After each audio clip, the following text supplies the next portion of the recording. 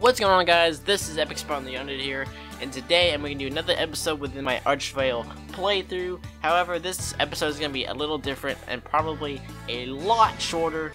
What happened is the power to my microphone was shut off without me realizing it, so I recorded the episode with live commentary and face cam, and my mic is muted. My mic is shut off. So, what's going to happen is I'm just gonna show you guys a reel of what happened in the episode, and it's a shame that it was this episode because a lot happened. It was a really cool area, really cool boss fight, and it just it sucks, but it is what it is. So I'm just gonna show you a reel of all the important slash interesting slash stuff you should know throughout the episode, and I hope you enjoy.